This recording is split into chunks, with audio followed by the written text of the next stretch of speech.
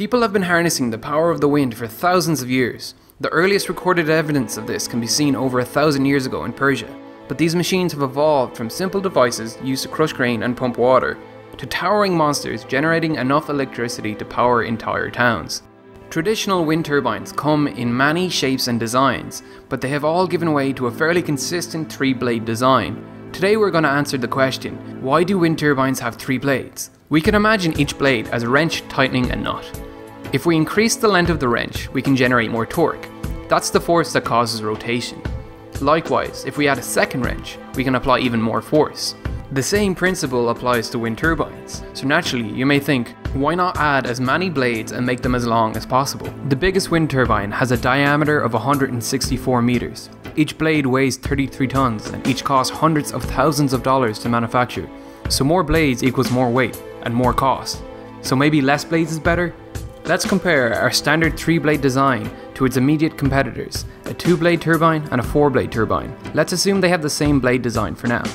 We can easily eliminate the 4-blade design with a quick cost analysis. Each of these blades costs a lot of money. Adding a fourth blade provides such a marginal increase in performance that it does not justify the additional cost. So it's down to 2 and 3 blades. A two-bladed design can match the performance of a three-bladed design by increasing the chord of the blade by 50%, which eliminates the cost advantage, so it's pointless.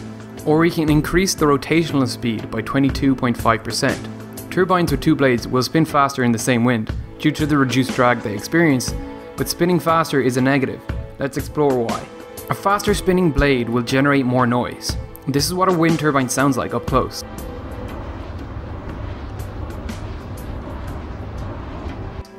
Yeah, people don't like living next to these things, so we need to minimize the noise they make by minimizing their speed. Next, we need to worry about centrifugal force. As the blades spin faster, their apparent weight increases. Thus, the central hub and the blades need to be stronger to resist the additional stress. Again, this adds cost. This is what can happen when a wind turbine's brakes fail in strong winds.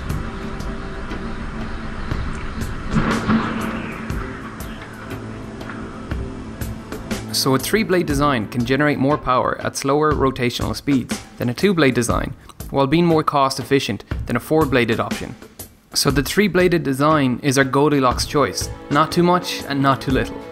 Thanks for watching and happy Earth Day. Don't forget to subscribe and see my next video, which will explain the history and physics behind winglets, which are those little curly bits at the end of wings.